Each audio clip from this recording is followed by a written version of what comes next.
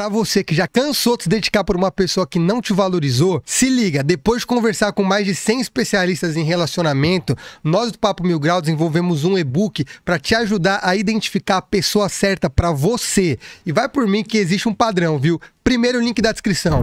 Um cara ou alguns que realmente, porra, seriam o que, o que ela gostaria que aquele homem fosse, tão dispostos a ser, mas não faz sentido nenhum esse cara pra ela, tipo, é, é, volta naquilo que você falou, esse cara ele se mostra muito disponível e o que ela tá querendo não se mostra. É o lance do difícil, assim, que faz ela querer ficar ali viciada naquele cara? Com certeza, com certeza. Porra. O cara, o cara se coloca de uma maneira que, que se torna um desafio para ela. Por isso que eu falo que não é só sobre a mulher, não, tem, não tá relacionado a gênero.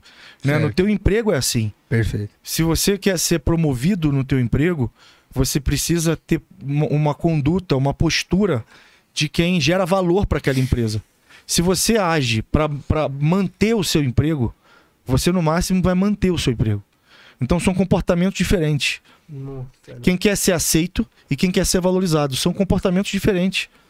Ah, se eu só quero ser aceita. Né? Então, se só quer ser aceita, toma essa migalha. Você quer ser valorizada, aí é outra coisa. Entende? E aí, de novo, você está vendendo um carro. E aí, eu, eu tenho dinheiro para comprar o carro.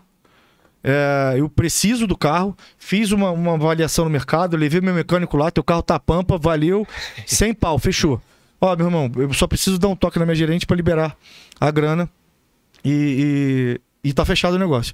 Nesse intervalo, por algum acaso, eu escuto você falando, tipo, caralho, brother, o cobra mal sabe que, pô, o carro vale 100 e tal, mas, mano, eu venderia por 50, bicho, que eu tô atolado.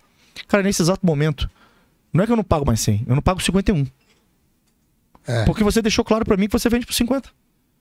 Então, se você, se você, entre algumas aspas, você se vende pra uma pessoa sem que ela faça esforço, pra que ela vai fazer mais esforço? Não vai fazer, bichão. Não vai fazer. Então você precisa entender qual é o teu sarrafo. Que tipo de homem você quer? Que tipo de relacionamento você quer? O que, que você espera de uma pessoa? O que você espera de um relacionamento? E se não for dessa forma, não me relaciono. Sacou? Ah, a partir daí, se o cara. E, e, isso te torna muito interessante automaticamente.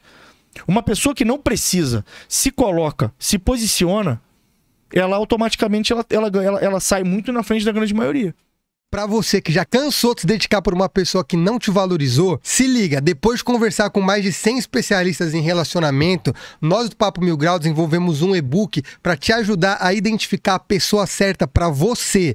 E vai por mim que existe um padrão, viu? Primeiro link da descrição.